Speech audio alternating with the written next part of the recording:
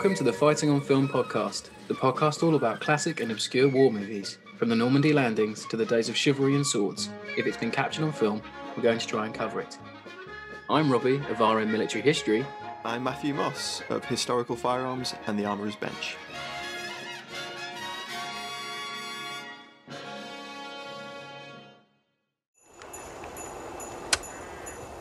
Broadsword calling Danny Boy. Broadsword calling Danny Boy. Over.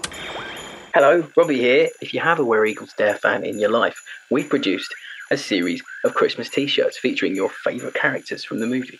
Please go to fightingonfilm.com and find the FOSS shop where you'll be able to check out our merchandise. Hello, welcome back to Fighting on Film. Today we are joined by writer and director Lance S. A. Nielsen to talk about his recently published screenplay for the film Pegasus Bridge. Lance, welcome to the show. It's a pleasure to have you with us. Thanks very much. You can just call me Lance Nielsen or Lance Steen Anthony Nielsen. SA makes it sound like I'm some sort of German military intelligence. Oh. God! Oh God! um, in the middle. but yeah, no, really, No. Uh, guys, thanks so much for having me on. I know we talked about this way back when, and now that the screenplay is actually going to be physically in people's hands very soon, um, it's really, really, really kind of you to coincide. Mm. And I think it'll be released by the time this episode goes live. So I'm sure we'll have all the links out there for everyone to purchase it. So I mean, I'm going to start off um, asking the question. So when when did you start working on the film and writing the script? So that was back in 2014. Um, I'd wanted to write a script about it for ages, and I think I'd done a, a treatment probably as as early as 2006. Um, but um, I'd just done this other feature film, The Journey. It was kind of doing the festival rounds, and I met these people um, an event which I will regret until the day I pass um, who said, "Well, we can get you the money. What film do you want to do next?" Uh, Which is kind of any film director's dream. Somebody coming up to you and saying that, and um, I said, "Well, this probably won't be the next film I do, but the most commercial project that I've got in mind." Because I knew it would make a lot of money. I mean, that wasn't the reason I wanted to make it, but uh, um, No, I- of I knew it would be an easy sell Mm, for a producer um, to go and get the to go and get the budget is Pegasus Bridge. Uh, but I think I should do this this other. I was going to do a gangster film actually, um, which I have written called Six Days to Sunday, which is a bit like The Long Good Friday meets Widows. It's kind of a female Ooh. female led Mm. Gangster film where all the men get killed in the first fifteen minutes. You know, and um, uh, and I was gonna gonna make that, which I could have made for about 150 grand. Um, and oh no no no no! Don't make a gangster film. They don't make any money. What they were thinking was it's not going to make us any money. Uh, and how much do you need for Pegasus Bridge? And at the time, in my head, I wasn't really going to include any of the Seventh Para stuff. It was all just going to be set at the bridge. And I thought, well, right, well, we got to build the bridge set. That's about this amount of money, this many weeks of filming. So I said, if I do it my way, probably four to five million. And um, uh, yeah, yeah, yeah, we can get you that, no problem. And that's kind of how it started. So within within three months of that conversation, I had the first draft. wow! I, I think I wrote the first draft in eleven weeks. Wow! Yeah. it takes me more than that to do two thousand words, let alone a whole I- script. I, I- I mean, people think this is a bullshit boast, but I've written a first draft of a 96 page script in 72 hours before Wow! It can be done. from nothing, from a from a one line brief that someone gave me because it was between me and three other people, and if I'd got it, I would have got 10 grand. And I thought, well, Mm. I think I need that 10 grand right now. So Well, there you go. Yeah. What incentive? yeah, but I, um, didn't, I didn't get it though. No, that's a shame. Um, So when- liked my script the best, but they said it had too many locations. oh. Back to So what? Yeah. So what inspired you to to write a book on uh, a book? Sorry, write a screenplay on Pegasus Bridge itself. Um, well, when people buy the screenplay, there's actually a big section in it um, from me about Mm. What inspired me to write the book in the first place. So there's a really long, detailed answer to that. The short version is watching The Longest Day as a kid. Yes. I think I love the bit where you talk about having the audio tape Yeah, of, of the film rather really, than yeah. you know, really interesting. I love that. That was Well, cool. I used to. That's the um, kind of thing I would have done. I bet you. I bet there's a lot of people out there that do this. You would watch your favorite movie on Christmas, whether it was a Bond film or Where Eagles Dare or whatever, and then as soon as that film was finished, you know, me as a kid, I would rush straight upstairs, get all my um, you know, Airfix German paratroopers out, and I'd recreate the castle. I'd get my British commandos out. They'd be Richard Burton and Clint Eastwood, and Yeah. I'd be recreating the battles. And then when I got a bit older, I did the same thing, except I rolled dice. You know, Mm. so um, uh, I used to do that with all the historical films. I used to recreate um, Battle of the Bulge, Where Eagles Dare, um, well, Where Eagles Dare, not, not really historical. Um, but um, you could argue that the Battle of the Bulge film is also not Well, historical. no, Yeah, yeah, very much so, exactly. yeah. even probably even less. Yeah. but the one that I recreated most frequently was were all the scenes from The Longest Day, especially Pegasus Bridge and the, the various beach landings. You know, and used to recreate all these big big landscapes in my um, bedroom, and then um, yeah, just sort of that was that that film and, and Bridge Too Far were the the two films that kind of seeded historical interest for me, particularly as they both involve airborne forces, which I was found fascinating, and my interest in history went from there. And then when I got into filmmaking, it was a natural segue to want to do something that um, paid homage to both the subject of my own interest and also the films I'd seen growing up as a child. But uh, you know, Pegasus Bridge is a snapshot, um, rightly so. In, in in the longest day, they give it as much time as that film should. Mm. But but I wanted to do the detailed story of the whole operation, and um, Yeah, I always wanted more of the bridge in Longest Day. I always want more John, like of John Howard and the boys on the bridge. But obviously, it, as you say, Lance, it fits perfectly within you know the narrative and the flow Yeah. of the Longest Day. Yeah. But just for me, as being like someone who was super interested in Pegasus Bridge, I always wanted. It a bit almost more. feels like the longest day could come in like a big box set, and you just get a f an individual film on all the extra scenes. But this this feels like you could slot it in. You could get to the bit of the bridge, and then Pegasus Bridge would have slot in perfectly there. That's how it feels to me. yeah, yeah, it's Mm. it's um, it's a great film as well, and I, I Yeah. can't believe how many actors that I'm working with have never even seen it or heard of it. oh, Some film directors as well, actually. That even when I was Oh, the other day, and he said, "I haven't seen the longest day." I was like, "You what? You've not seen the longest day?"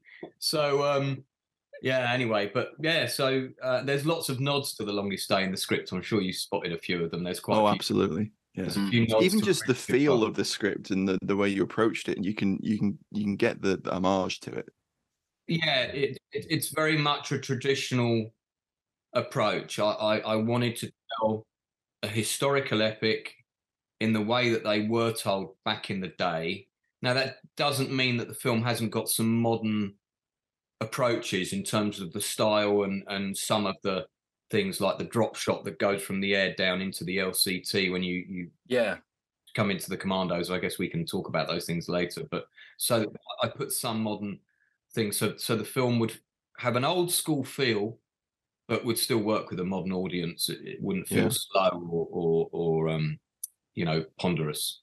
Yeah, that's what I picked up on when I was reading. You get the whole, you get to see the German point of view, you get to see the French point of view. It, it that it, not formulaic. That's not the that's not the right word, but that's sort of, as you say, traditional way of like a bridge too far type of a Yeah. longest day type. That's what I got in my notes. It really feels like that, but it also feels fresh because you've got a lot of your, you know, your modern editing techniques, Yeah. everything else that's come in lately. It still has that feel, but you, you could enjoy it every generation could enjoy it film wise i think that's what i got from it and it felt like a, when you're at the bridge the everything's frantic and like you know very tight and then you've got the airborne guys they feel like they've got a bit more room to breathe with what they're doing because they've got more space to walk around you know it did it felt like a interesting I, I would i think is that that's the thing that i get most when i read the scripts like i can see this would have this would work you know let let's Yeah, get it made you know that's what i want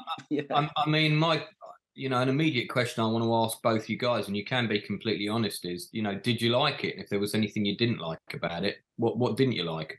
You know, please. I did like it. I liked Um, it. go on, Rob. Yeah.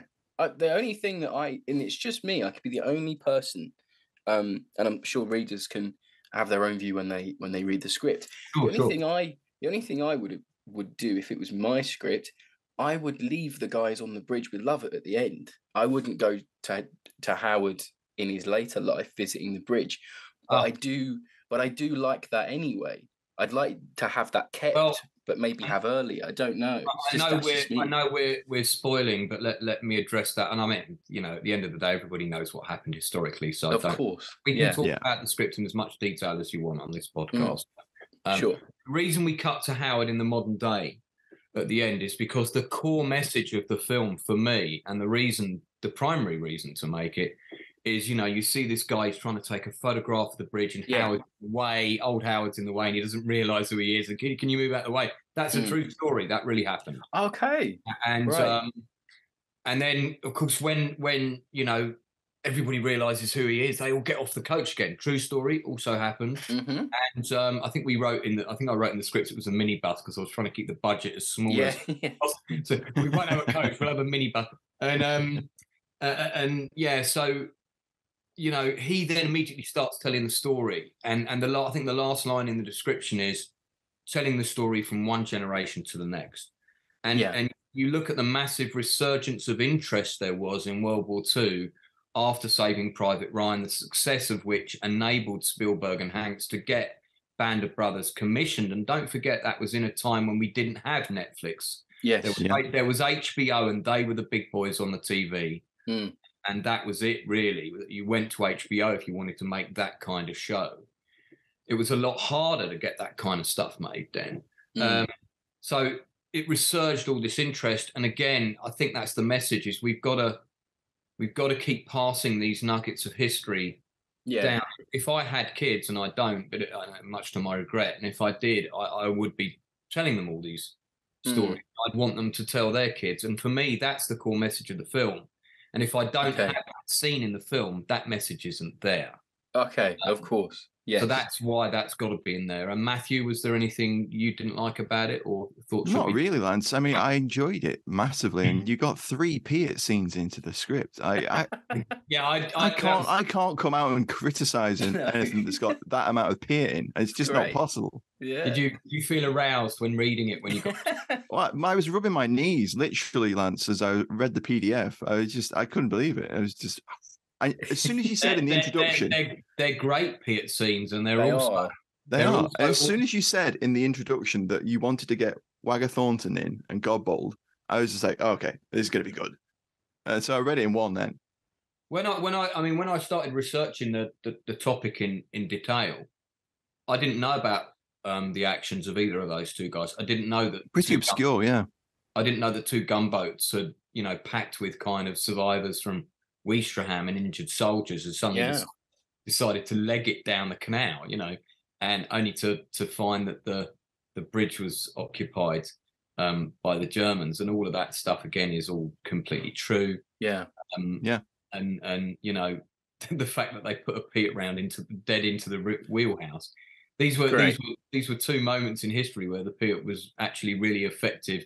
The first one certainly was was key in um, Yeah. First Stopping- ally, first ally stopping the killed bridge the being attacked. enemy AFV in Northwest Europe. and then it was, it was a common mistake that that um, there was loads of little details that I had to get right. Like um, the, the the the general um, thing out there is that people think that the bridge was attacked by two Mark IV um, German um, Panzers, but it, it was Mm. not. It was attacked by two Marders. Yeah. It's SPGs. Yeah. Yeah. I, I, yeah, basically open top self-propelled guns. Um, One of Mhm. which you see in you do see it in um, Saving Private Ryan, and in fact, that very same one, um, the owner was gonna gonna Oh bring wow. for us to use for that that scene. Um, and then we were going to have a second vehicle accompanying it. We couldn't get two working Marders, so you know if you can't get two working Marders, you have a Marder, and what would it be backed up by? Okay, a half track. So Yeah. We were going to have a Marder and a half track, which at night, you know, could have looked like two tanks. Um, Mm. and um, Well, all Uh, the that- accounts that you read of of, uh, of, of British soldiers encountering um, armor, that often it's a Panzer, whether it was an SPG or not, or or a Marder, or Panzer it just was- it was byword for I mean, Yeah, it's just- I mean. Panzer is the German word for tank, isn't it? As Of Peter course. yeah. Yeah. Um, Um, and I know, you know, I mean, no one said the bridge got attacked by tigers. Um, No. but and they always made the distinction of whether it was a tiger or, or a panther if they were Yeah. talking about yeah, tigers and panthers. That's for Um, sure. I mean, we we um we were going to have a Mark IV in the um in the film later, um, but the only one that we could get our hands on wasn't movable. Okay.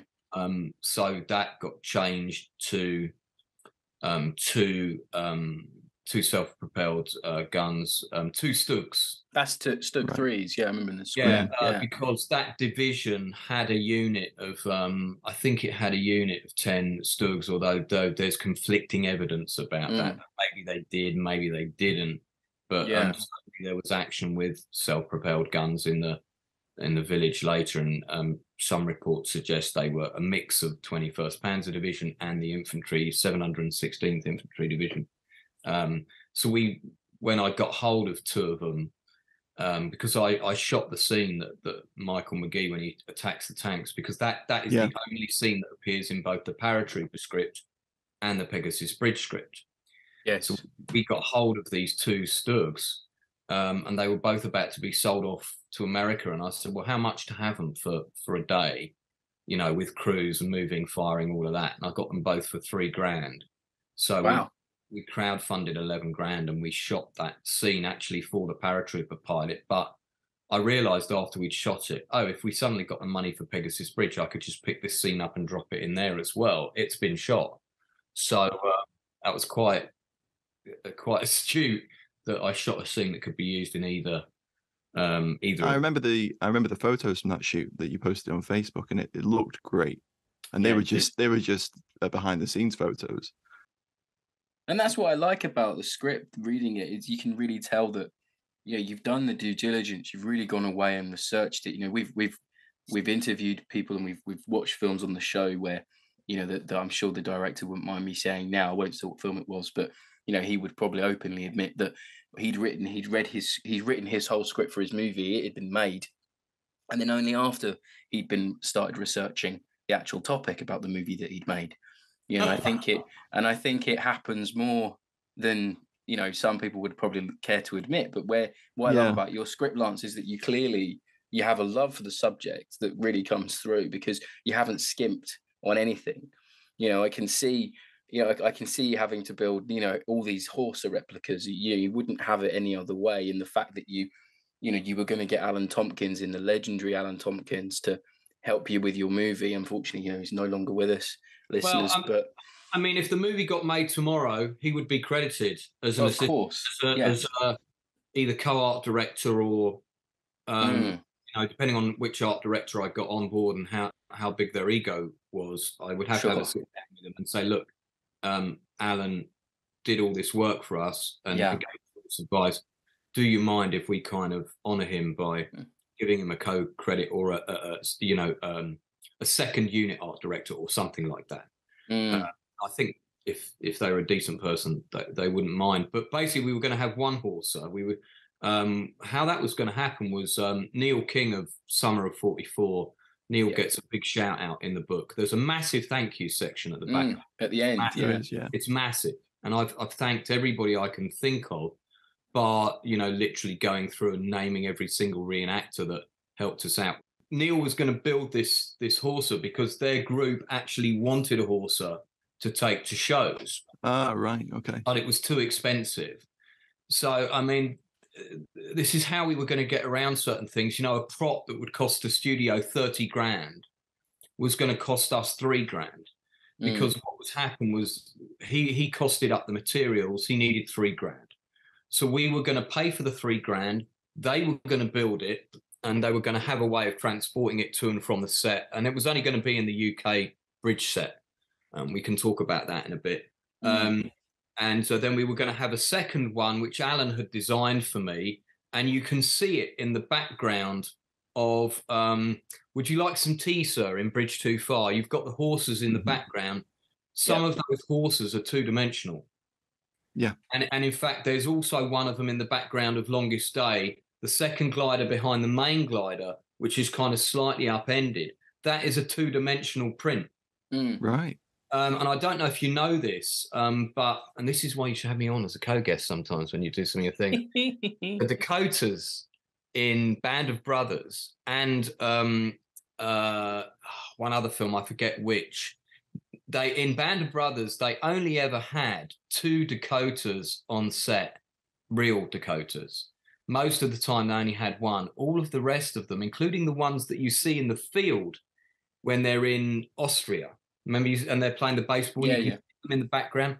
They are cardboard cutouts. Yeah, yeah. You There's a great up- article. You can walk up the steps to the door and you can go in them, but they're actually just big, massive Yeah. cardboard cutouts, in- including the wings. That they look like they're they're wings, but then they're not. Yeah, there's a great thing. It's, it's like there's an after the battle, all about Yeah. the making of uh, Bridge Too Far, and you Yeah. see behind the uh, these these force perspective Yeah, and it's all scaffolding. It's mind blowing. Yeah, it really Yeah. is. Um, I've got I've got Alan Tomkins' copy of that. He gave it to me. wow. Yeah, I think I've got one on my shelf. I think it's it's invaluable. Um, Yeah. So that Brilliant. that you know, you see how they did it old school and it, it Yeah. worked. So at the bridge set, we were going to have one physical Horsa. Uh, we also had access to filming inside a Horsa um, at that museum in Cornwall. I think you know the guy. Um, he's got the original Bridge Too Far interior glider. He offered Okay. us to, to film in there. For, obviously, we were going to pay him something. But then we would have to take the whole kit and caboodle down there to do some interiors. And actually, there were two being reconstructed. And then the museum saved us all of that hassle and said you can film in the interior in the glider in the museum in Normandy. Oh wow. We didn't have too many actors in there in one go. Mm. So we were going to have to do really silly things like film them all in there without their boots on. But that was Yeah. okay because you wouldn't be able to see the boots in the shot anyway, you know. yeah. Yeah. Um, of course. Stuff like that, so that we didn't have 20 actors in and people's boots started going through the floor. And then Mm. the other the other two gliders, I think we were only going to have one, in fact, uh, that were at the at the bridge were just going to be these two dimensional cutouts, but they would have looked like um, the real thing. Yeah. So you know, all your gliders for kind of five grand, basically. Mm, yeah, and I think that's another thing that really shone through to me when reading your um, introduction is that it was going to be, it obviously would have been an independent project to an extent, but you really were pushing the boundary of what your money could get you. And it was, it's such so interesting to me. I love reading all of those production notes because for me, sometimes that's always more interesting than the finished product. The finished product could be amazing, the best film ever, but I Yeah. always love the making of. And if you're a making of fan, this book is for you because you get to really read everything that happened. And you know, a lot of it is very heart wrenching. I'm really, you know, my my thoughts go out to you with the process because it was felt just like carrot and stick the whole way through. And the fact that you've you were still going out and getting all these favors is is really, really something. When it stalled, um, Mm, it's the worst. And then, you know, I went and found the money. I went and found um, uh, the um, the main investor, and I got the budget put up. And then when certain people got involved in that element of taking the production forward, suddenly it all went tits up. You know, yeah, and the, the budget at that point was put up to nine million, and we would have had about six to, to Right. spend on the film, about six okay. um, and, and it would have been a great film for six. Oh, of course. you know. Yeah. It yeah. would have looked like it, it was shot for for sixty. Mm, mm. And uh, from what we've seen from your, you know, the paratrooper um, clip you you made and you, you showed us earlier, and the, you know, the promo trailer that you shared with us, uh, you, you can see it. And that's the thing. I think that's the thing. I think me and Matt we've been talking about this week when we're preparing for this episode. Is that we can see this, we can see it in our in our heads. You know, and the script is really well written. You don't skimp on detail. You don't skimp on scenes. You know, you, you as I said, you know, the, the river the river boat the the boats being hit by the Piats you know another filmmaker would leave that out but you wouldn't and i love that yeah. you know you're trying to tell the genuine story of the of pegasus bridge the the, s- the actual Yeah, story I made a list of kind of all the key things that that happened. Where I did have to leave some things out was some of the little battles that Seven Para had. yeah Nicola Gregory, who was one of the good producers who worked on on on the film, um, I had to explain to her from the beginning. I said, "Look, if we're going to just do the bridge and leave Seven Para out of the film, we're basically committing the same sin as the longest day. And the whole reason for making this film is not to commit the same sins as longest day because Seven Para just get one mention in the film. Seven Para might not be here for hours, and then you see one guy at the end of the movie with them who actually that was the role that um what's his name was originally offered. He was originally offered that part Okay. of um because that's supposed to be him. That's Right. supposed to be Lieutenant Richard Todd uh, on the bridge. Yes.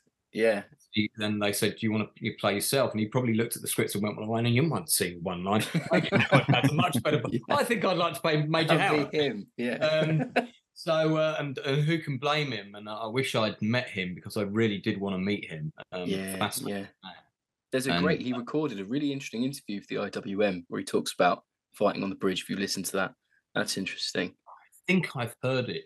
Yeah. Yeah. The interviewer. I'm sure you have. Yeah, The Yeah. interviewer leads him in with a, a really loaded Piat question, which was, was really unfair to ask him. Just- A lot of the IWM questions are a bit off, and you're like, bit really? loaded, yeah. we- Is that did, you, loaded- did you hate the Sten gun? I'm like, what? Don't, don't lead them. Was that loaded Piat question? Was that Matthew Moss's dad? That was he the Yeah. I mean, and talking about Todd there, I mean, who? Uh, this is the thing for me. I was when you when you read it, you read a book and you you imagine the characters. So Yeah. Windy Gale's in it, and I and I'm sure Al won't mind me mentioning it. You know, he he did ask me when when um when we were preparing this episode if he could play Windy Gale. So now I always see Al Murray as Windy Gale. Can't help it. Um, um, I, I, what I'll say to to Al because that part is earmarked for Danny Webb, but there's another part.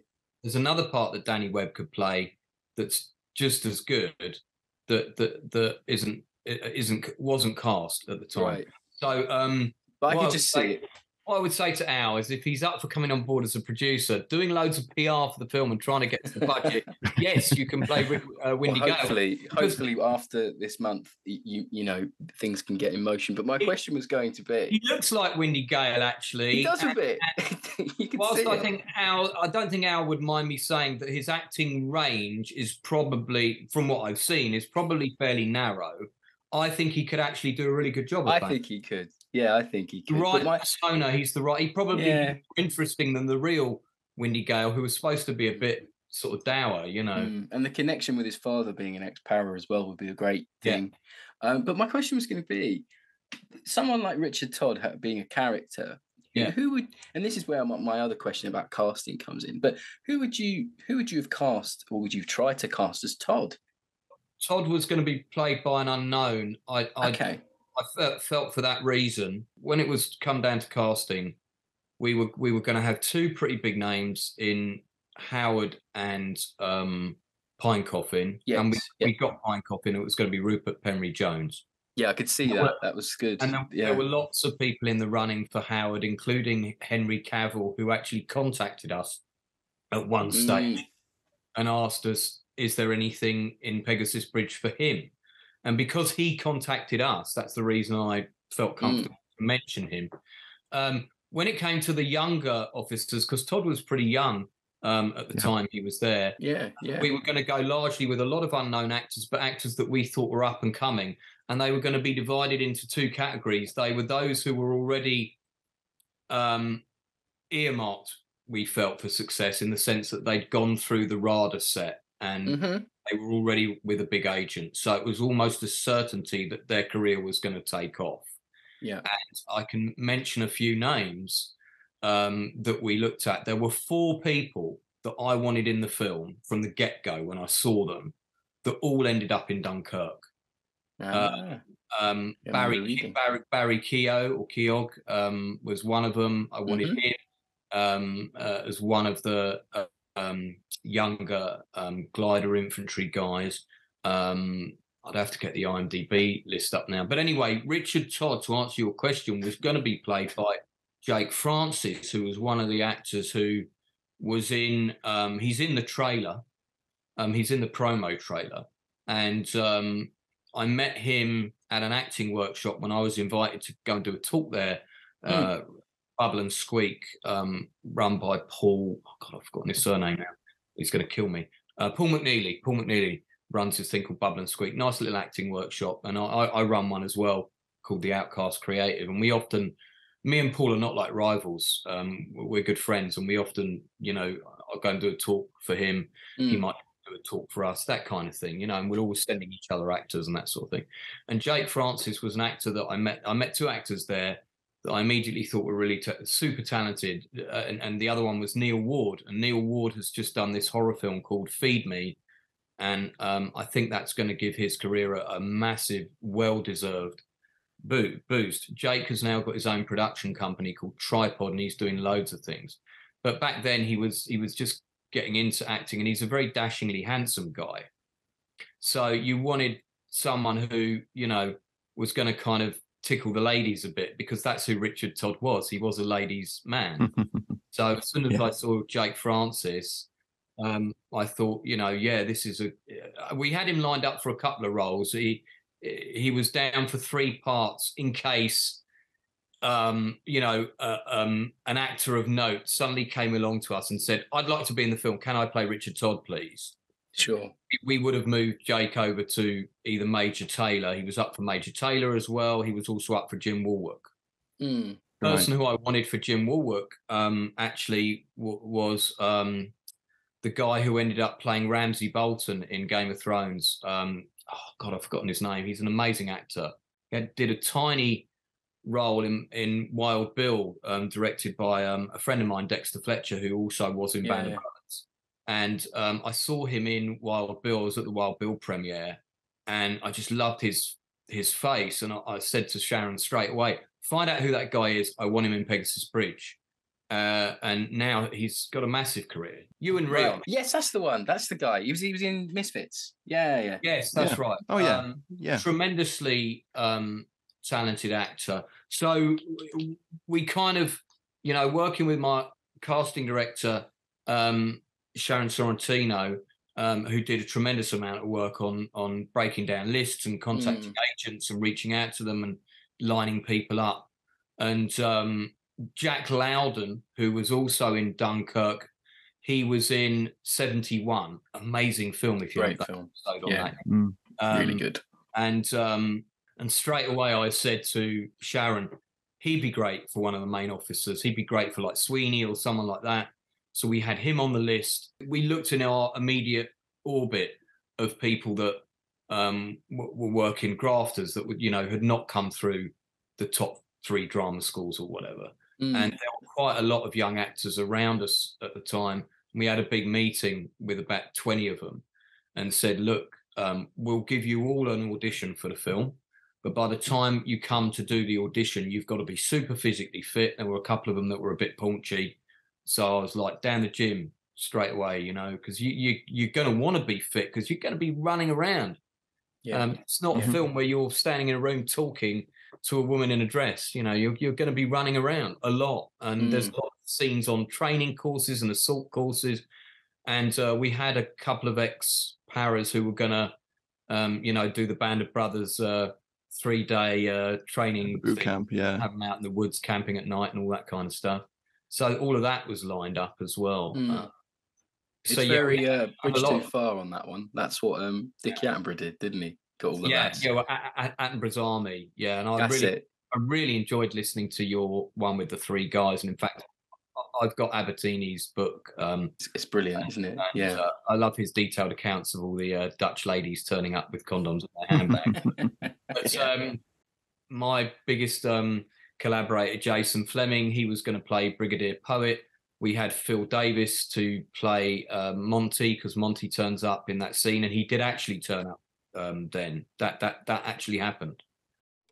Hello there, sorry to interrupt. I wanted to let you know that you can now join our supporting cast over on Patreon. As thanks for your support, you'll be able to help us pick films, submit questions for guests, have first pick on brand new and exclusive merch, and much more. Thank you for your support. Now back to the show. Coming off of cast talk about references. There's one reference I really want to ask you about because it made me laugh Go for it. um, out loud. There's a part where some Italian uh, prisoners are taken, and they say they're speaking in Italian, but it would have been subtitles for the listeners. And they go, "Oh, we'll cook for you," blah blah blah. And Major Howard turns around and goes, What? No one here speaks Italian. Bloody marvelous. Is that is that a direct and gentlemanly act reference? It is. Well spotted, sir. Yeah, uh, that's a that's a little nod and a dedication to Bob Peck, who Of course. absolutely one of my favourite actors. And a little side note: I contacted his agent. He died of cancer, but but um, he did it didn't go public that information. I think until either his death or right before it. Yeah. and about four, about four or five months before he died, I contacted his agent. I really wanted him to come and see this play I was directing, and his agent said, "Well, I'm I'm sorry, I'm afraid he's not very well at the moment." And and I said, "Oh, um, is you know, is it serious?" And they said, "Well, um, I'm afraid yes, it is very serious." And I, I, was like, "Oh," and then I thought, right, I, I kind of read between the lines, and I said, would he do i mean this is really outfield would he consult to doing an interview about his career because the the next thing that went i mean it was totally inappropriate, and i was very young then but the next thing that went through my head was god if he's about to to die i've never seen an interview with bob peck like a, a big long interview yeah, that's that's a fair Yeah. point. Yeah. um and what a fascinating actor just to i mean he's great isn't he and he, he could have played howard in his day Yeah. Mm, Yeah. You that's very it. true. He could. he Yeah. would have been Yeah. a great Howard, you know, He's when he was the fantastic same in age he Act. was, yeah, when he did Edge of Darkness or um, Mm. go, but go was- on. Next I was question. thinking Stephen Graham for Howard in my head, but you probably yeah. I don't know. Howard was pretty tall. Yeah, that's the only thing. You need to have the people coming out being like, "Oh, he's not tall enough," like you did with Paddy Mayne. I mean, look, Rogue Heroes. Stephen Stephen Stephen Graham is a phenomenal actor. He would have been a, he would have been brilliant as Wally Parr when he was younger. Yeah, Uh, yeah, he would have uh, been. and um, you know, it would be nice to it would be nice for him to be in an airborne film airborne film where he's in it for more than three seconds, aka Band of Brothers. Next question, we go to the Patreons. So, as always, we do ask our patrons to submit questions for our guests, and I'll I'll kick off with Tom McCall. Yeah. Um, and he asks, in the process of drafting the screenplay, did Lance talk to any Normandy veterans? And then he uh, adds an addendum on the end. Also, with the success of SAS Rogue Heroes, are Second World War films and TV series back in vogue? Okay, let's deal with the I first. hope so. So yeah, yeah, yeah, so do I. Um, first question, yes. Um, I tracked down all of them that we could find that were living. I think we've got seven of them on film. hmm I spoke to probably double that. Um, and uh, the ones we've got on film are Nick Archdale. Um, in fact, I've got they're listed in the book. Um, Stan Watson, who Neil Ward was going to play Stan Watson, um, and um, you know it's a small part, but he's in the film the whole way through. He's you know we've got a lot of guys that've only got four or five lines, but they're they're always in all the scenes um, with all the glider guys or seven para guys.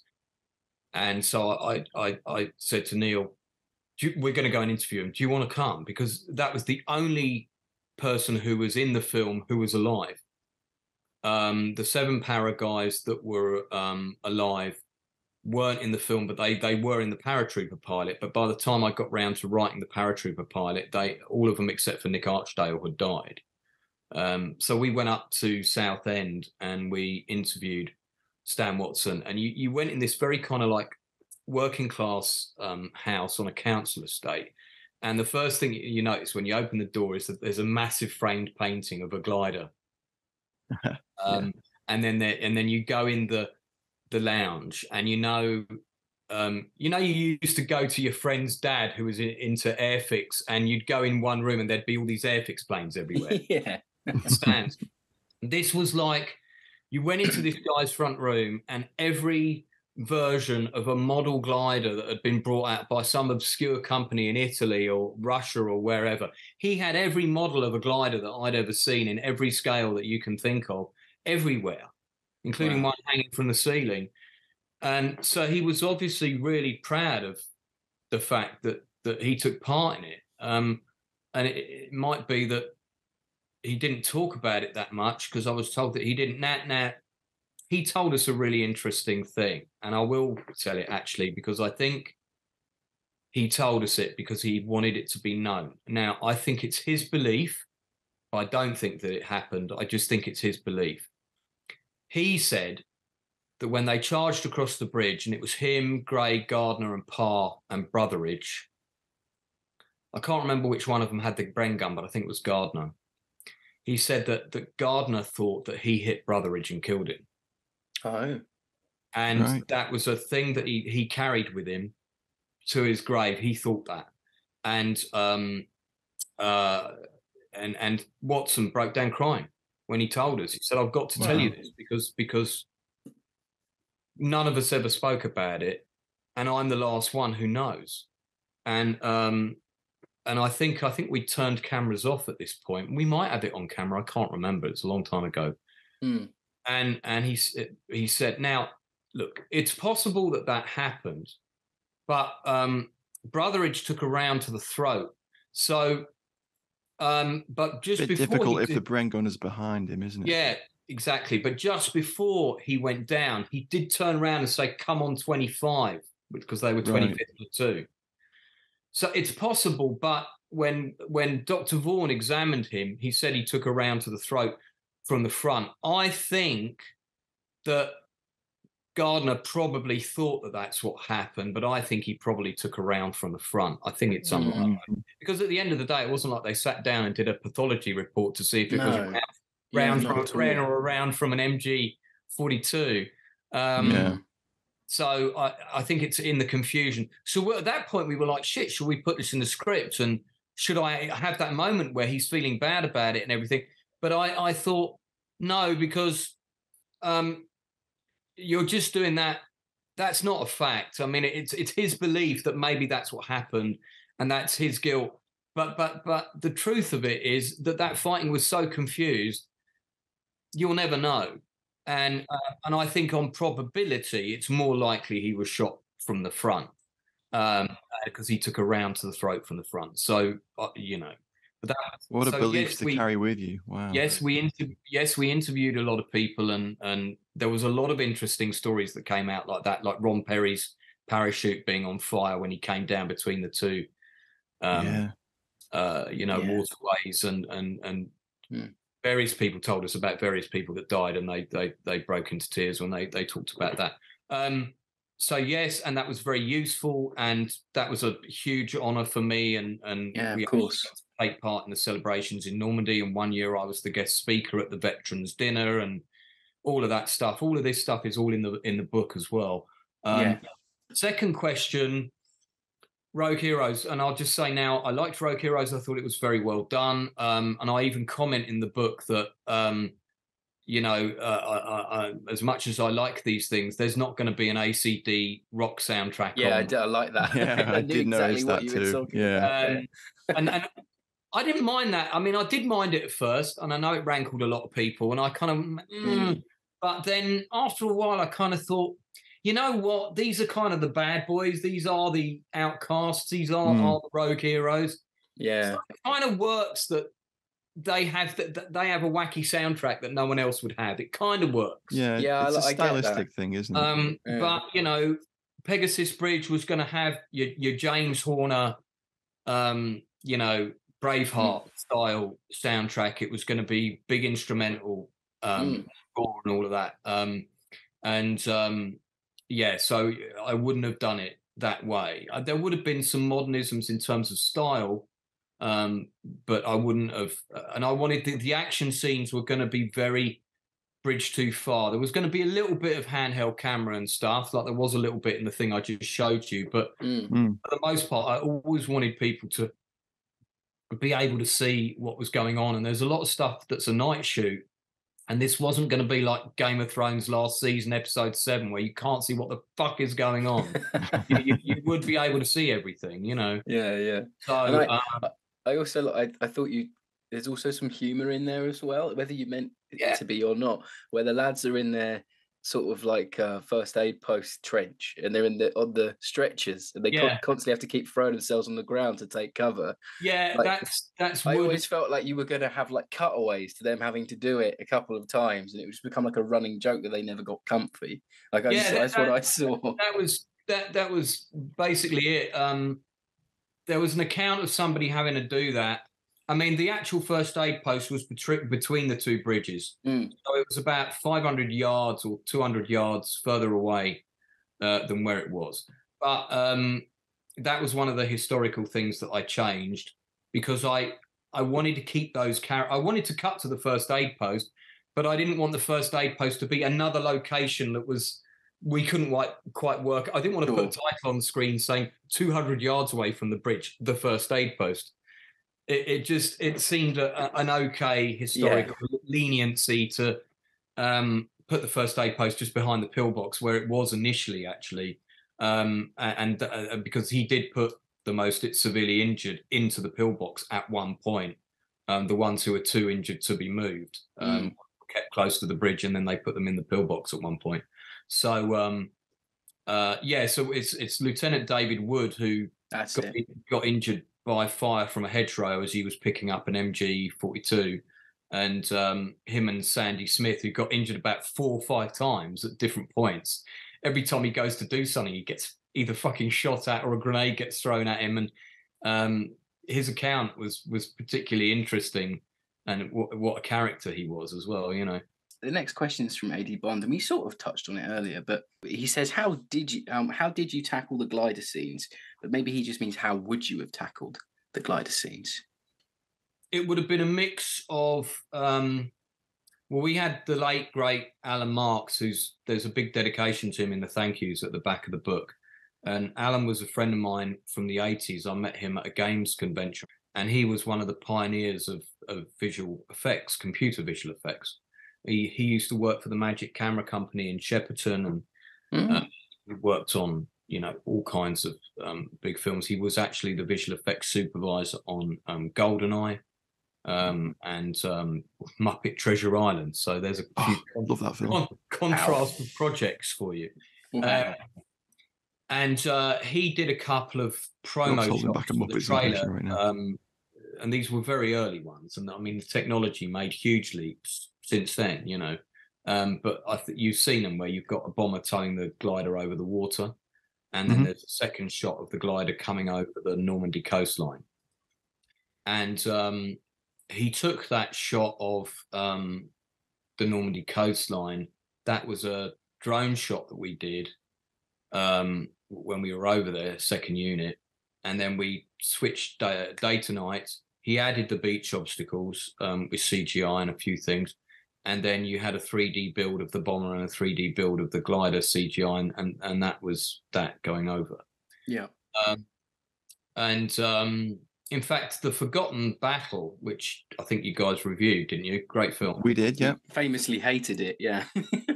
It's a frustrating film because you want it to be something else. yeah, that's Uh, it. Yeah, I Yeah. enjoyed it. Well, it was what it was kind of enjoyed it- portrayed as being what it was, as as what you hoped it would be, and then Yeah. it was very different. I enjoyed it for what it was. I was disappointed it wasn't what I thought it was going to be, but I thought, okay, that's marketing. I, it- more for me. Yeah. True. True. Yeah. Production design on it was absolutely stunning, first rate. Mm. Lots of Agreed. toys, lots of great, Yeah. great sets, and um, but the the CGI um, for the airlift for for Market Garden on that was really good. I thought. Yeah. Oh, yeah. The best bit of film, Um, without a doubt. Yeah, I agree. Yeah, and um, so it would have been that quality uh, for the for the Air Armada going over.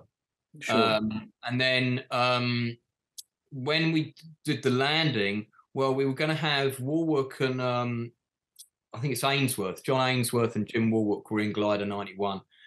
We were going to have both of them on cables and we were going to build um, the cockpit just on its own and film it upside down with camera underneath. So we were going to shoot them going through the glass like that Oh wow! um, yeah. on, on, Wow. on, on, on wires. And that was going What to a be great one shot. of the- that was going to be one of the most expensive um, stunts. And our, our stunt director, stunt coordinator, sorry, um, Steen Young, who who shares my middle name, um, uh, he he was going to be de- dealing with all that. So it was it was going to be a combination of CGI, um, full size set, bits of set, cuts of stunts, and things like that. Um, with the glider scraping along the ground, I don't know if we would have done one model shot and then used it, cut to it six times like they did in um, The Longest Day.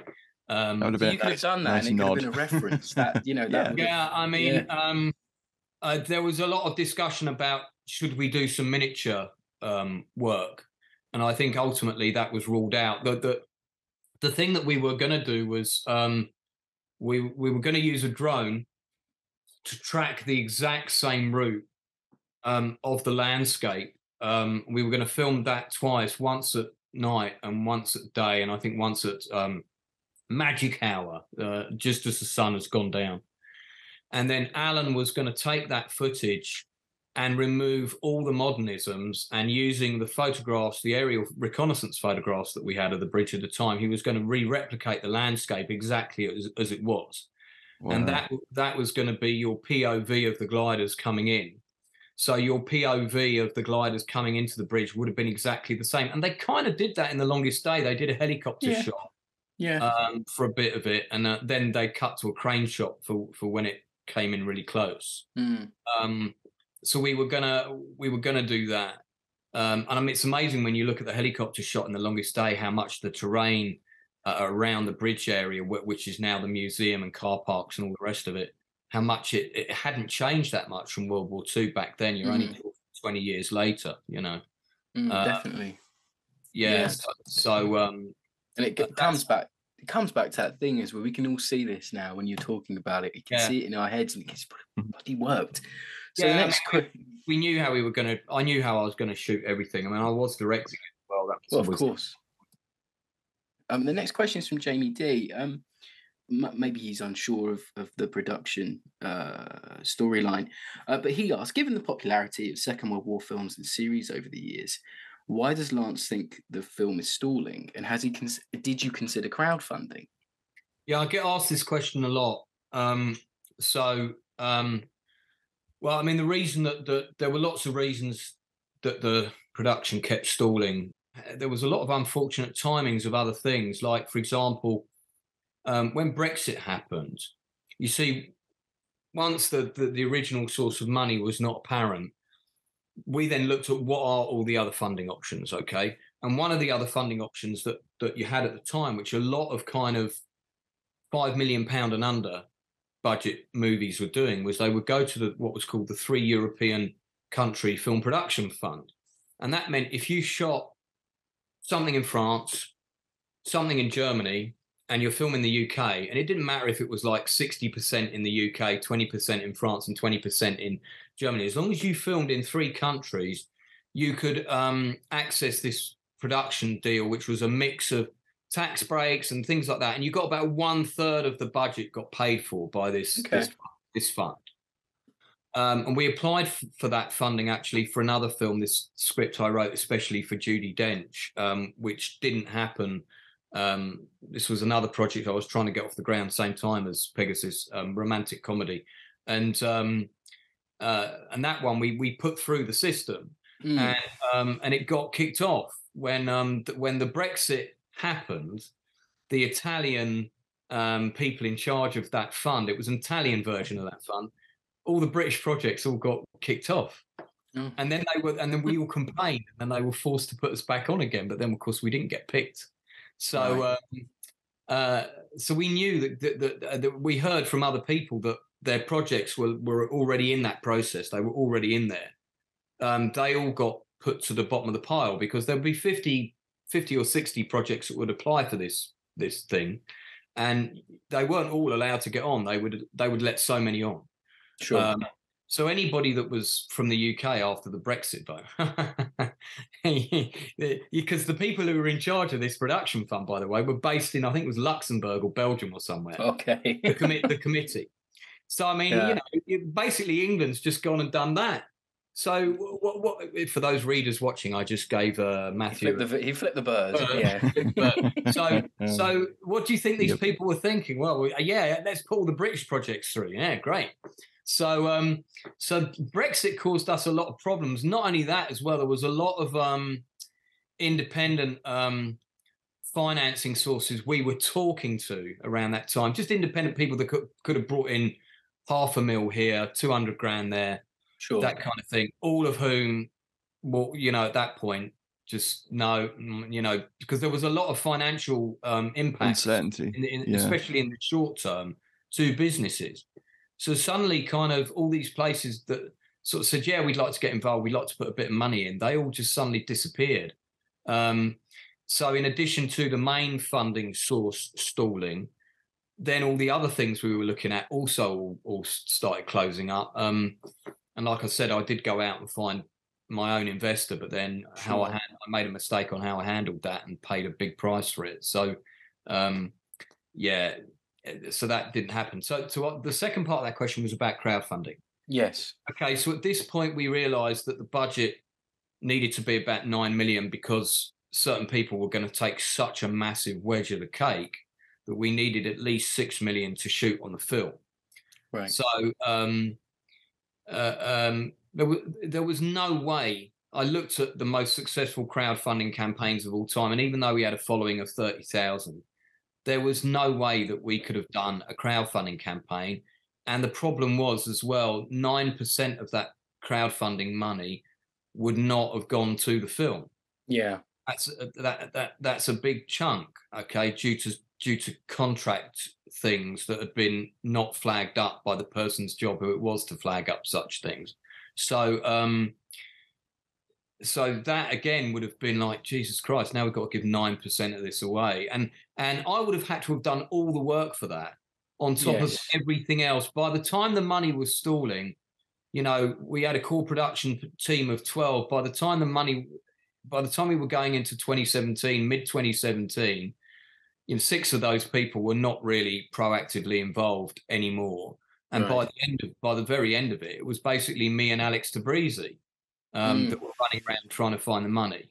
Who I need to give a massive shout out to, who's a little documentary filmmaker. He's an actor, uh, does various bits and pieces. Current, currently working at a theatre in Cirencester, I think, doing their technical stuff for them.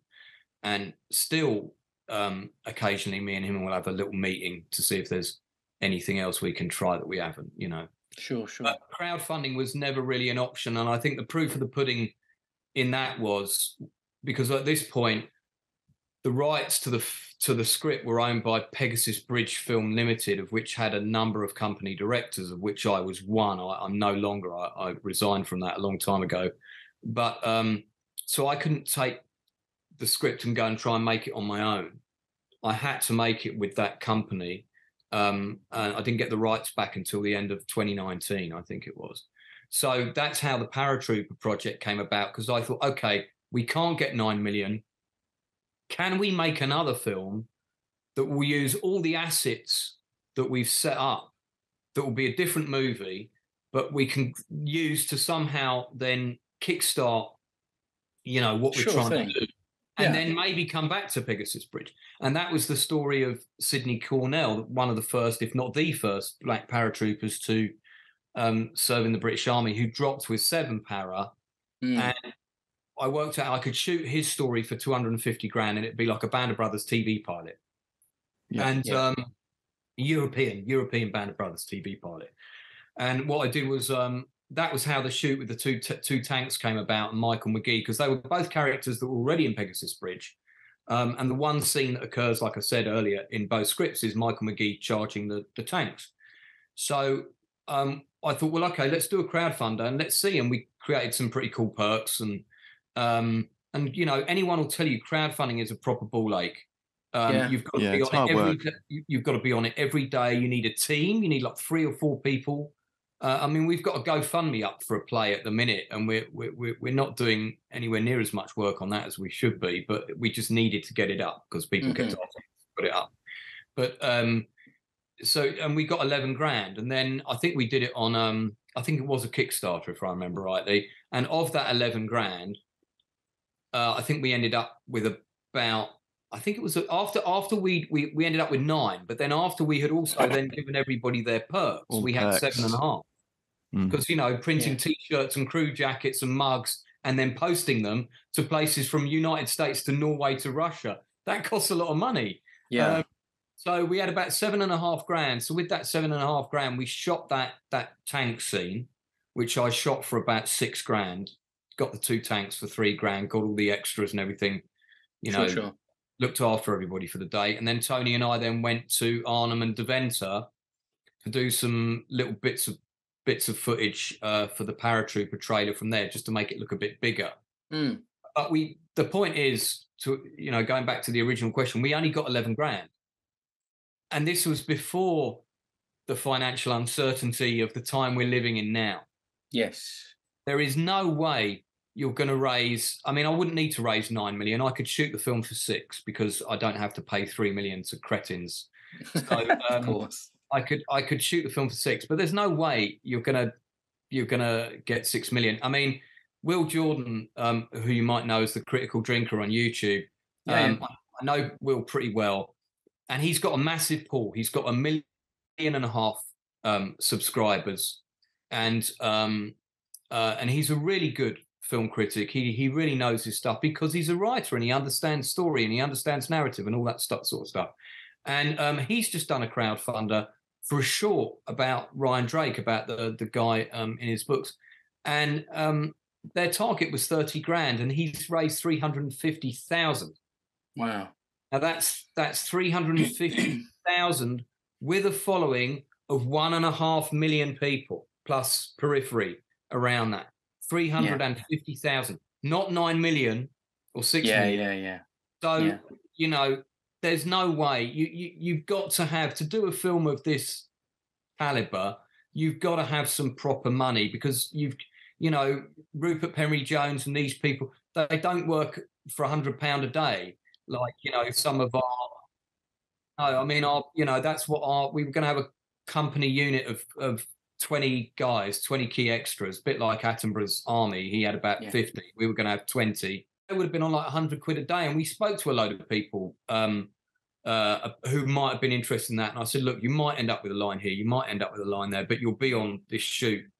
And they were all up for it. You know there was a lot of young living history guys. They didn't need to be actors they just needed to know how to use the kit and the weapons and they were all going to come on board and we were talking you know people that were between 18 to 24 we're not talking Yes. fat guys in their 40s um and um so all of those things were were were, were, were looked at. But you know principal actors um you know even even sort of not not a list but big name well respected actors coming in to do this part or that part anywhere between 20, 20 to 50 grand. Sure and, and yeah, you know, and your unknowns that are playing key roles that are on the show are going to be on weekly rates of two to two and a half thousand. So, you know, and then think of the catering. uh, The, the, yeah, catering. and- yeah, it's all this behind the scenes things that people don't think of. Yeah. Our crew was going to be. We we we kept our crew as small as we could, including a second unit director that was going to be Matthew Holmes, my my buddy who's just done Legend of Ben Hall, which is a great historical Australian bushranger movie. And if you ever want to get him on your channel, I'll, I'll, I'll get him for you guys. I'm sure he'd love to do an interview with you guys. Oh, he loves his. Australian Australian history. He's really Oh, big wow. on that. Um, so um, yeah, he was going to do the second unit, but our crew was going to be 32, 32 people, three cameras, camera team of about camera technical team about six people, first, second, third AD, you know, and and a makeup team with three, um, and um, so on and so on. But it was it was a really scaled down unit, and and we got that unit together when we shot the promo trailer, which was we were asked to do that for for the big investors to get the get the big money. And we you know so we shot a kind of a concept trailer. This is what the film's about and this is kind of what it's going to look like. Hmm um part of the reason that i haven't put that in in public is because it it- you know it was just what we could get at the time Yeah, Um, just not- representative not- of. Yeah, yeah. yeah it's not the footage from the movie and um if i put it up online and put it in public domain you know the bean counters will be out or rivet counters sorry and um they'll be like oh panzer 3 you know no, 21st panzer didn't have any of them and, and all that kind of thing well you know this is a concept trailer and at the time somebody said would you like my working panzer 3 Yeah, you're not going to turn it. You're not going to turn it down, are you? and that yeah, was the only tank we could get so yes please thank you very much of course. Hello, I'm Al Murray, and you're listening to Fighting on Film, the world's number one war film podcast. Coming off that, I mean, the, you know, the, the money is, you know, the amount of money that you need is. It's not big in film terms, I guess, but it's big in you know people terms. Six million when you hear that fee. but Yeah. my, my, my one of my like final questions, and I mean now, I mean hopefully, I know you're going on World War II TV later on in the week. I mean by the time this episode goes live, your book with the the screenplay would have been released, and everyone can read it. But I guess my question is, realistically, I mean, I know that everyone would still love to see this project made. What would it What would it take you to get it off the ground again? God, some rejuvenation youth energy pills. Does such yeah, such a thing exist? I mean, look, I'm I'm 50 now, and um, you know, when I started um trying to make the film, you know, I was in my my early 40s. I was in a um loving relationship with a fantastic partner, you know, uh, and um had a lot of kind of hopes and dreams, not just for the film. Uh, uh, my biggest dream of which was let's get this made in time for the 75th and get every living veteran that's left Mm. at that anniversary. And there would have been about five or six. I'm, I'm now found myself single again at 50, which is a fucking horrible place to, to be. The personal cost to me to trying to get this made was was pretty big yeah, because because when it didn't happen, I, I spent three years of my life pretty much every day yeah. working full Yeah, it comes through in your introduction. It's really, yeah, before you start reading the words, it's very hard hitting in a very personal way. There's that great line from the one of my favourite films of all time, The Wild Geese. Richard, the late great Richard Burton. You know, there are eleven still men. There are eleven men still living. I haven't even counted the widows and orphans yet. Yeah, um, yeah, Sums up how he feels about that whole operation. And I think I put that quote in the book somewhere, or if I haven't, it's going in. Um, sure. and and it's like this open wound you know Mm. um I, I also pers- i feel personally responsible Okay. um but i let all these people down because every single veteran said to me before they died at the end of the interview without exception you know when i would go is there anything else you want to say yeah fucking hurry up because i'm going to be dead soon um now my health Mm. is not not great at the moment um I've had some really serious health issues in the last 12 months and it was touch and go at one point whether I was even going to be here till the end of um, this year. So the, the, one of the reasons that the book I'm putting the script out is so that my version of it is there sure so thing. people can see what I wanted to do. Uh, people will know how passionate I was about it because Comes to the armchair general, kind of following the, the the the social media over the years, getting excited. Wow, it's a British team and they're going to make this film. It sounds really good. No, it hasn't happened now. God, what a bunch of monkeys! You know, uh, they, must Yeah. have been a bunch of muppets. I get it. I get it. I, I get that. I get that completely. Uh, you know, I'm sure I've done that when I've been following some film and I've been saying, "Jesus Christ, isn't it out yet?" I think I've said that Oh, about just, oh, just get it made. It's so easy. isn't it? we, yeah. We've all said that about Masters of the Air about 20 times. I think we have. Yeah. That's Yeah. Tom. That's Tom Hanks and, and Steven Spielberg. Look how long that took to get financed. Yeah, yeah, You had the success of Band of Brothers. You would have thought it could got Yeah. financed like that. They were, and they, I think they spent about 100. Was it 600 million on it? 600 million, 680 million. yeah. And then Apple bought Something it off. HBO for the same Mm. price and covered the rest of the cost because HBO Yeah, couldn't but- afford it or something. Yeah, yeah. yeah, Yeah. I mean, it, it, you know, so ju- look at the complexities of that. I Of mean, course. l- so in terms of my hopes now, there's a weird thing that's happened in the film industry where films are getting made at this really stupid level of 600 million, right? Mm. Or whatever. Marvel film, you know. Yeah. Mean, if you make a Marvel film for less than 100 million, that's a low budget Marvel film, if such a thing exists. I, I know that there was one that was made for around 180, and I think you know 160 of that was like the rock salary or something. So um, you, you know, I mean, and what's happened over the years is that different changes in the financial markets and stuff you have shifted so that on you've got all, all of those films have gone there, and then on the other extreme end of that, you've got people like um, some of my contemporaries, uh, you know, Richard Oakes, Adam Leader, um, um, Jimmy Bush, Rain McCormick, uh, to name James um, McCormack, to name a few really talented filmmakers, sort of in my age bracket, Mm. running around snatching a hundred grand here, fifty grand there, two hundred grand here, and making these tiny films um, some of which are great and some of which are not so great, with extreme limitations. And then the, the, the mid-budget film, 20 million, 6 million, 7 million, 15 million, you know, have all but disappeared. Getting that amount of money for some reason seems to be really hard because Mm. as soon as you you're you're working on a a movie and let's say Henry Cavill gets attached, suddenly you'll have 20 producers wanting to put money into it.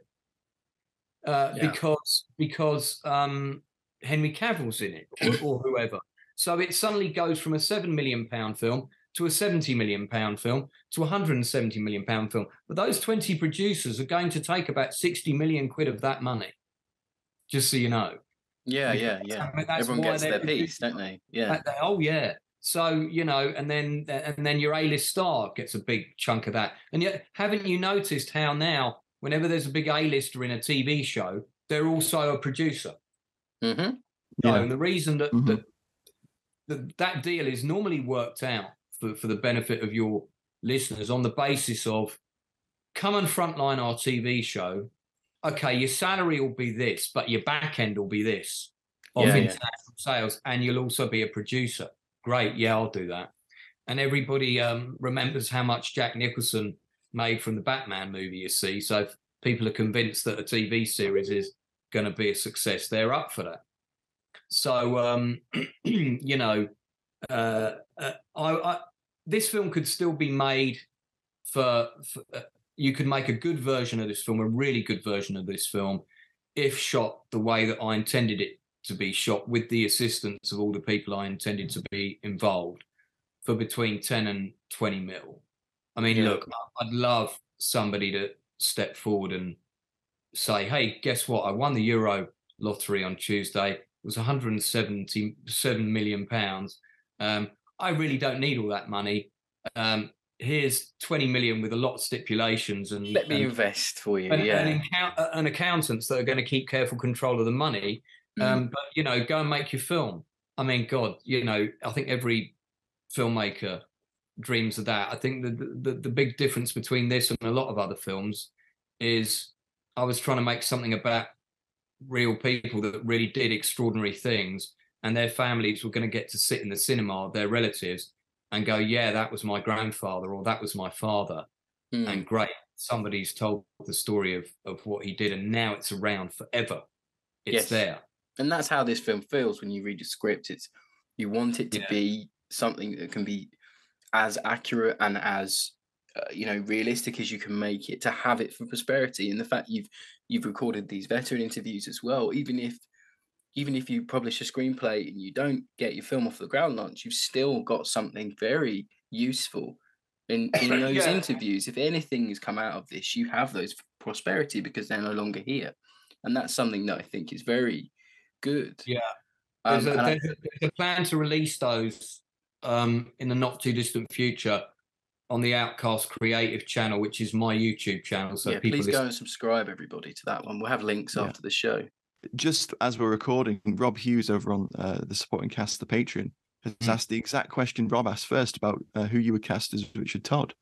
Um, so it's funny that everybody's asking about Richard Todd but not Major Howard um I know. Well, I, I guess because I think it's it's, him iconic, being isn't it? him, isn't it? I think that's why it's so interesting. Because when I was Mm. reading the script, I've always been like, "When's Todd coming back? When when's Richard coming back?" The funny thing is, right, is I'll, I'll see if I can find it while I'm talking to you. Is um, Jake Francis, who, as I explained earlier, was in the running to play Richard Todd, and he's not a main character in the film. He's got five, six lines. Yeah, Um, not many. he, was- No. he was, yeah. I mean, it, there's a lot of there's a bit of poking fun at him. Like every time he get he can, he checks himself out in the mirror. You know, Yeah, yeah. because he he was every I, I interviewed a lot of people that met him or who served with him. And the one thing that, that came through constantly was he wasn't he was an actor's soldier. He was very vain.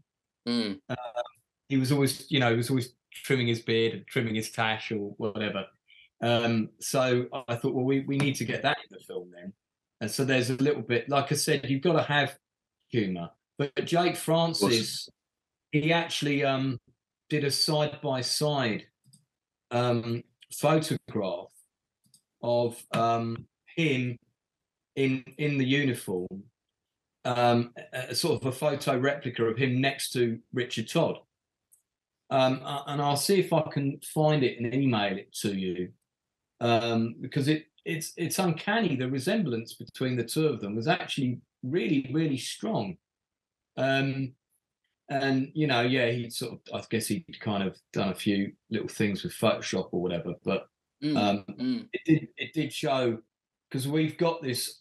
I think I, I didn't I send you a load of pictures, including one of a very young Todd with his Yeah, I think so. I think so. yeah. well, it was that it was that photo, and that's I know the one. It's on. It's. I think it's on the Wikipedia article about him as well. Yeah. Yeah. yeah, and it you know it's him very young. he was quite old when he Seems to be the only photo that exists pre-acting of him. Like it's the only one you ever see. Yeah, Yeah, it does seem so. I think I think it, I think it is the only one. Um, yeah, well, it's that side by side with Jake Francis. I mean, Francis is too old to play him now. And when actually when we were in para, when we were doing the paratrooper stuff, Jake was saying, "Why would I still play Todd?" Because I think Todd, yeah, Todd is in paratrooper. Fact, he's in it a bit more.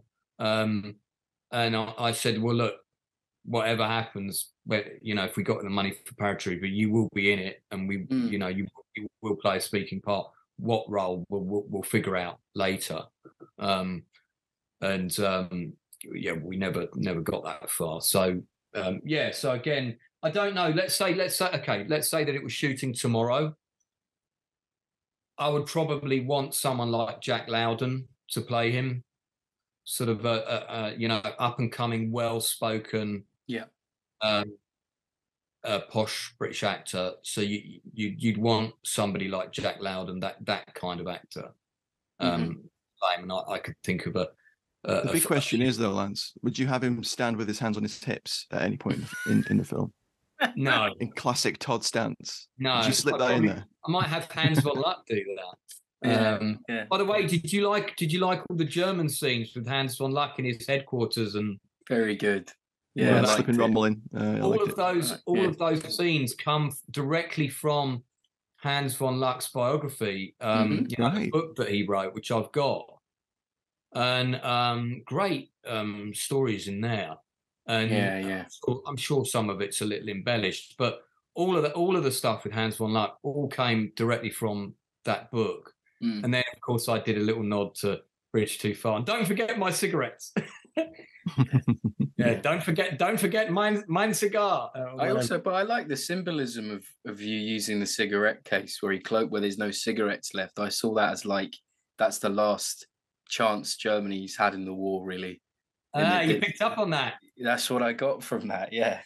so you're not, you're not just a pretty face, eh? no, no, exactly. I know my film theory just about. You know, you know. I, Yeah, actually, I must admit to you, this this is actually the first script that I've ever read in its entirety, and I did three years of a theatre degree, and I never once read a whole script. So you're very lucky. I, I feel pretty honoured. I mean, I have said to people That's that why I got a two two though. I got an awful grade. That's probably why. But you know, when when we were sending it out to actors, the note that I said was, um, "Get to the end of the third scene. If you get to the end of the third, third scene within two days, you would have read the whole thing." Yeah. And um, and that pretty much happened without I think, yeah. It, exception. And um, if we were able to get it into an actor's hands and we knew that they'd read it, um, then coming on board um, seemed to happen like that. You know, it's Um, very I don't know. It would be a great Yeah. novel as well. Yeah, you could make it into a novel, narrative novel if you Well, I, wanted. I mean, I actually, I actually did debate writing it in sort of novel form. Mm, Um, I think Stephen Ambrose has already done that, um, and it's riddled with inaccuracies. It has to be said. Um, and I, I didn't actually, I hadn't even read the Ambrose book when I wrote this script. And actually, that was funny because at one point, I think that, that, that his trust got in touch when they heard the film was being made, and they wanted to know if it was based on his book, and it was just like no. so uh, um, no, I mean um, I should mention um, Neil Barber, who actually you should definitely get on your your show yeah. at some. And um, he wrote the Pegasus and Orne River Bridges, and the book basically is a narrative edit of first-hand accounts of all the guys who were there. so these are the original accounts that were at, the Imperial War Museum or with the regiments concerned, uh, and you can find a lot of them on online. Yeah. Um, and um, I took as much as I could from first-hand accounts, and and a lot of that came from online. Some of it came from some of the undiscovered ones came from Neil's book. In fact, I think it was Neil's book that introduced me to Sidney Cornell. I didn't know we had any black paratroopers in World War II until I read that book. And that, I, that I was- certainly didn't until your project. I had no idea, and that Well- really raised the profile of that. and we had more than I had one. No we clue. had more than there were more than one. There wasn't just one guy. There- I Mm. think in Seventh Para alone there were like three. Mm. And um, there's also some confusion over was Cornell this guy in this picture or was he this guy? Yes, you mentioned that in the in the Um, introduction of the screenplay. Yeah, and Um, and I, I've always been careful to mention that because I've got a feeling down the road, scientific means will be available that somebody will say, actually, no, he's this guy. Mm. Um, and I, I'm, uh, you know, I 'Cause hate. a lot of the newspaper articles use that photo, don't they? And, and yeah, yeah, but and I'm not. I'm not 100 100% sure. Yeah, Not Yeah. 100 percent that is Cornell. If it is Cornell, that is the same guy who's in the photograph with um, Colonel Pine-Coffin um, yes. in Amfreville, I think it is, um, and um, that that is the same guy because we we had that photo analyzed by you know the FBI do that thing where you can take two photos and we Yeah, had yeah. somebody do that with that software and it was a 99.8% match or something so um so i'm pretty convinced that was the that is the same uh that is the same bloke um but yeah anyway so you know we went into a lot of detail. In fact funny enough when we when we were reading neil's book and again like the first draft of the script had been written before i i, I wrote neil's book but uh read neil's book nicola and i went through the script to try and cut roles out. And um, I was reading Neil's book at the time and, and adding details and adding things, and that's when I realised we hadn't got Sydney Cornell wasn't in the script then. And I said, well, if there was a black paratrooper there, we've got to put him in. yeah. And and and, and Nicola um, is sort of mixed mixed race herself, Canadian, and she said, yes, yes, no, he has to, he has to be in the script. But she had come round my house to cut at least two characters out of the Yeah. out of the script, and and we ended up putting two in. Adding two, Yeah. was it? Yeah, Yeah, we, added, two add- guys, yeah. we added him and we added Major Taylor, who I think was originally just like a nondescript, non-speaking part officer. Really, he was a glorified Right. extra, and he Taylor's kind of, quite important to the whole script, isn't he? Really? So yeah, it's a big. yeah. I, I, I, was very adamant from day one that you know this person who did this action has to be played by this person. I Mm. didn't want a Colonel Bobby Stout. Um, or, or uh, uh, you know the various th- there's two or three characters in Bridge Too Far that are amalgamations. There's a That's German it. General Ludwig, I think, is like a an amalgamation of Harzer and various other Mm. German officers that did a good job of kicking the British British arse. And then Colonel Bobby Stout is a combination of a couple of different American guys from the 101st, and and I, Yeah. that's fine with Bridge Too Far because it's such a bigger Mm. story. It's it's Mm. longest day again, but about this battle. But Yeah. mine is more micro. So Mm. I felt really we we we shouldn't be doing that with this No. film. And you don't take James Caan off for a mini movie in the middle of your movie, which is a good I- thing. Do you know what? I really enjoyed that discussion. And uh, one, I was sitting there um, feeling very annoyed that I wasn't part of it because I wanted to say something about that. Somewhere out there, um, not that I might have done it, there is an edit of Bridge Too Far, which has all the Band of Brothers stuff in it Right, and all- yeah. and all the Caan stuff taken out. I Uh, must say, I really did enjoy watching that version of A Bridge Too Far on my Blu-ray. So um, yeah, so uh, you need to see that edit of Bridge Yeah. Too Far. Well, we Very good. always say there's an edit of Bridge Too Far that incorporates pieces of uh, Theirs Is the Glory in it and everything Mm. else to really, you know, bolster out that Oosterbeek perimeter a bit. Well, but there- you know, this is not a this is not an untrue story.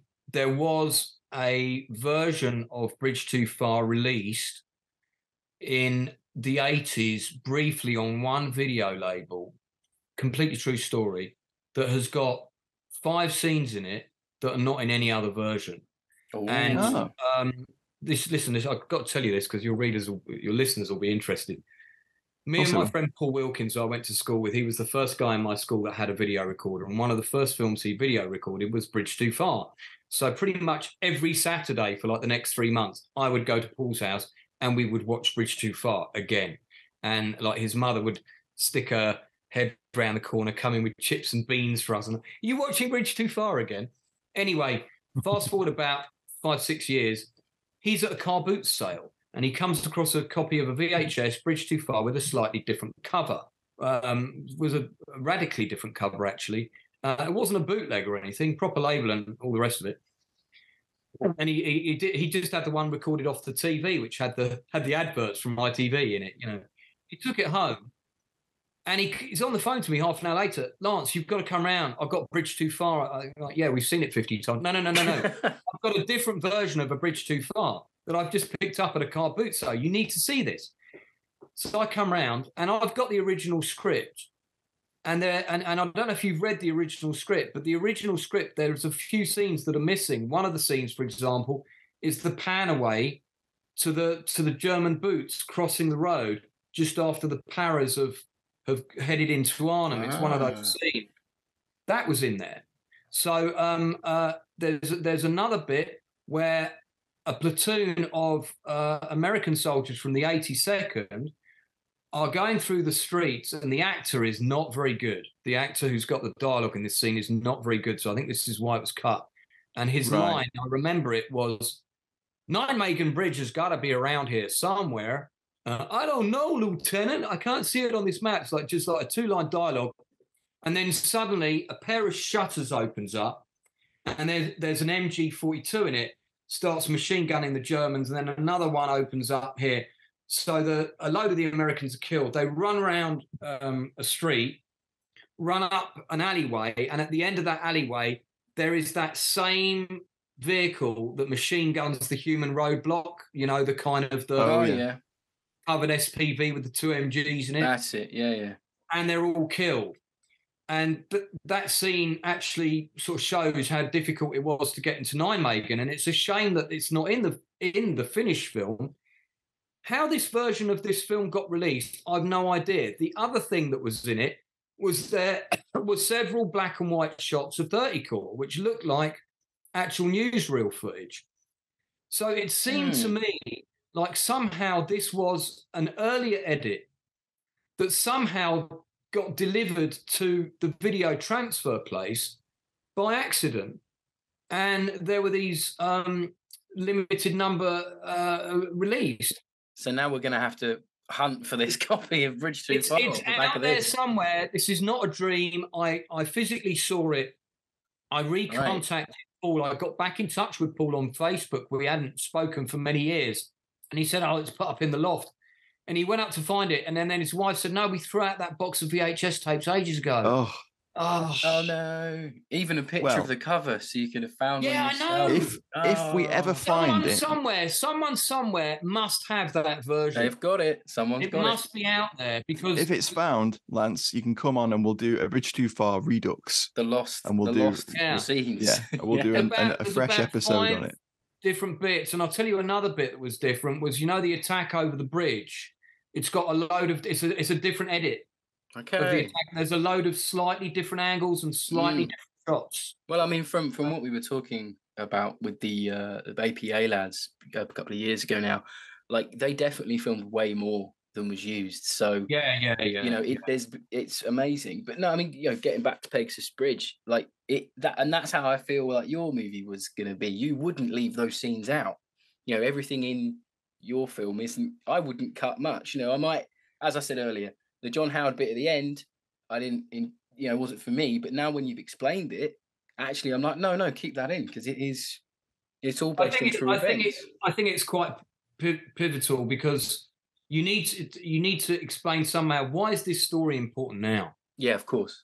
you know and it's important now because look at what's going on in ukraine it makes what those people did in that time even more extraordinary for Yeah. you to be being a postman one day or a milk milk boy or something you know working in a factory one week and then be traveling to France in a balsa wood, um, you know, aeroplane landing in enemy, enemy territory at night between two very narrow waterways with a, a, a machine gun as a weapon that could go off and shoot you in the leg at random moments. Uh, you know, fighting a well-trained enemy that's in an entrenched position. Just, just, I, I just, you know, that this, is this is kind Yeah. of beyond and imagination. that, and, and that and that's why I think the film, the film that is is still very relevant, and that's why we we wanted to invite you on to promote your screenplay because, you know, we really hope that you you know you get that energy boost and it or the financial injection from somewhere and it and it can come about and hopefully you know with the power of Twitter and you know Woody's audience, our audience, and people who are hungry for war movies and war movies like this, hopefully something can come about for you, and and this is what we really want. yeah, that's to Yeah, sort of I- end there. I, I always like to use the word historical um, over war um because I would never. The, the purpose of making this film would never be to promote war. Oh no, not at all. Yeah, of I course. mean, obviously, people like watching in quotes war movies because they're exciting. They're about pe- daring people doing daring Mm. things, and um, they're gripping and they're entertaining. And it would be all of those things, but you're also saying, guys, this really happened. Yeah, no, I've got, and this is what Right. it falls into. We we Yeah. on the show we are very um at length. We do say, you know, there are movies that replicate it and try their best to, i.e., you, you Bridge Too Fars, your theirs is the glories. But then there are movies like Force Ten from Navarone, Guns of Navarone that are like war adventure films, but yours really Yeah, does fit into this. This is how it was vein. These are real people. These are real things. You know, you, your riverboat's coming down. You, you you read it in a book and you probably oh that never happened. But no, you go away. You listen to the accounts. No, no, guys did assault, uh, take on boats. You know, on a river. Yeah. And this is the thing. You know, once it's on film, people start to connect the dots a little more. They go, oh yeah, that happened because it was in that movie. I saw it on screen. You know, and that's one of the, the things that you know we hope going forward that you do get to do. and it regenerates interest in the subject, and Of um, course, of you know, and course. it's Exactly. good, good business for the region of Normandy and Yeah, all of those extremely well run it's that whole thing. They say history's dying out, but we, we've seen proven time and time again that it's a big sort of bounding leap thing. It's always going to keep going. And it's been an absolute pleasure to talk to you, Lance. And if you are at odds of what to buy, the uh, war movie uh, uh, Airborne fan in your life, um, there's a few other uh, p- uh, parachute regiment books floating around, but please go out and buy um, Lance's screenplay of Pegasus Bridge. It'll be available on Amazon. Uh, we will have we will have links to it plastered all over our website and our Twitter page, and you can go and buy it from there. And Lance, again, thanks for talking to us, and Merry Christmas. Uh, thank you. And uh, it should be available, I think, around December the 15th, give or take a day. Okay. Um, once you send these things and sign them off, um, it can be a bit, it can Sure. take two days, it can take 10. so the the week of release of this podcast, so it's absolutely Uh, so, fantastic yeah, it should be out around now, listeners. Yes, It's It's, it's almost like we Okay. planned this. It- Yeah, It's incredible, isn't it? right, and uh, and as again, you know, thanks for joining us, Lance. And as always, you can find the show on all the social media platforms apart from OnlyFans. We're not quite on there yet. We've got to slim down a little bit over Christmas. Um, and but if you, but if you do, fans fighting on film. only films, only films. That's what we say. Um, so um, do find the entire uh, back catalogue of the show at fightingonfilm.com. And if you have a fourth binge over our Christmas break, do let us know, and we'll catch you next week for Where Eagles Dare with Jeff Dyer. Thanks, Lance. Thanks for listening, everyone. Bye.